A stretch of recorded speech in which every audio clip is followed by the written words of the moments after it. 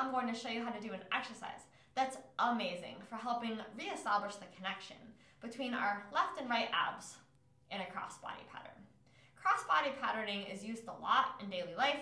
The most obvious example is going to be when we walk. As one shoulder is swinging forward and the other back, our hips are moving reciprocally and we're getting where we need to go in as pain-free of a way as we can.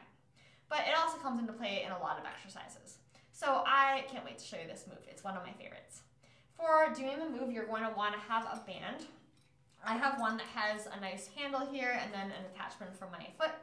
You don't need this. If you have a flat band, you can always tie loops on the end and you can make it work that way.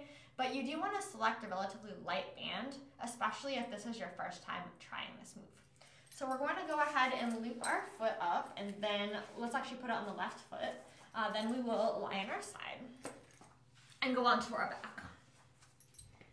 All right. From here, you're going to put the handle or the loop into your hand and you can keep a nice open hand so that we're not tempted to overly grip the band when we're doing the exercise. All right, so we are going to engage the left glute, stretch long through the heel, reach up towards the ceiling. Inhale. Exhale. Stretch, stretch, stretch, reach, reach, reach. And then inhale on the up. Abs remain engaged here. Exhale. Stretch, stretch, stretch. Reach, reach, reach, and inhale. Now think about painting a huge rainbow with your fingertips as you reach back. Your abs are getting more and more engaged with each and every rep. Inhale. Exhale. Your glute is engaged. Let's do one more. Exhale. All right.